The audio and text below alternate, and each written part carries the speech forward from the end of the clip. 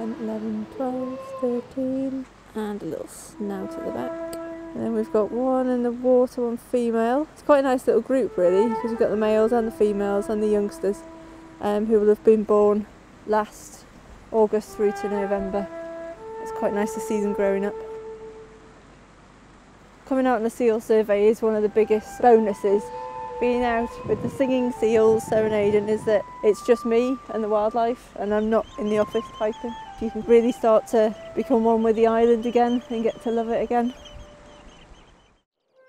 So Lundy's actually quite a small island. It's only three miles long by half a mile wide. Um, it sort of erupts out as the sea, but it is a mecca of wildlife. And because of that, it does encourage lots and lots of researchers to come. And so my role as the warden is to oversee all the conservation work. There's the sparrows, uh, there's Manx shearwater work going on. We've also got the productivity monitoring of the seabirds.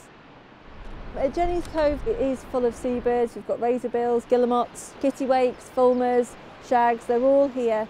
The puffins, however, have been our biggest success story. We were down to five puffins. In 2003, there was a rat eradication project and to get rid of all the thousands of black and brown rats. About three weeks ago, I had 53 puffins on the land, which is great. Oh, they're so cute. Got lots of puffins today, going in and out of their burrows.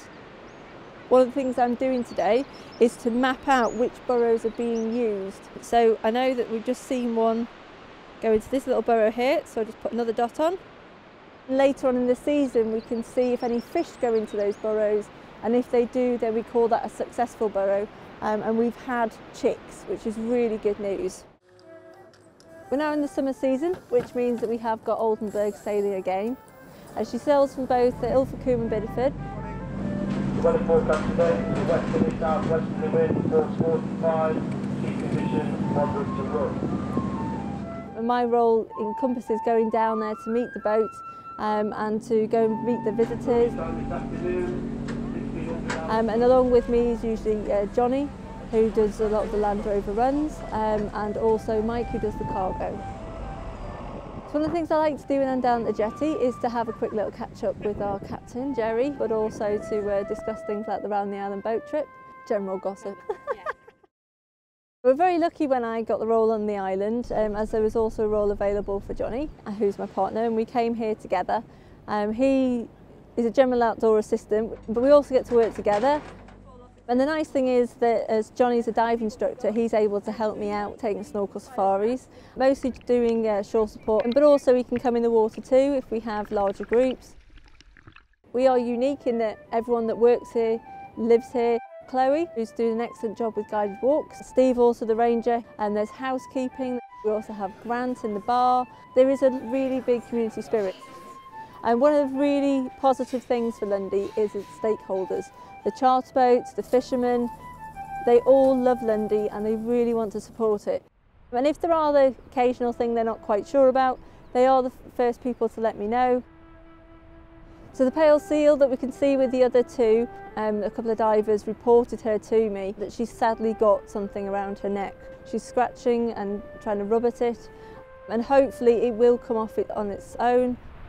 With the topography that we have on the island, we can't risk trying to catch one because if we tried to tranquilise an animal here, we're more likely than not going to actually, unfortunately, drown them because they'll just go straight in the sea. Um, but it is something that people should be aware of. The marine litter, sadly, um, has quite a negative impact on all our marine life, even something as large as a seal.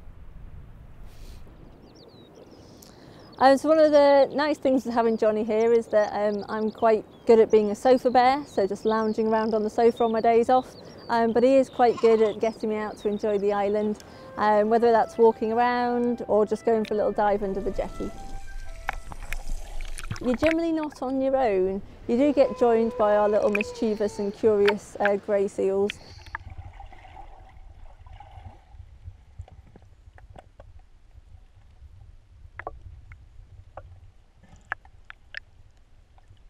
Some of the encounters I've had with the seals are ones I'll never forget. And it's a, an interaction that really is just something to enjoy and just like the moment, really.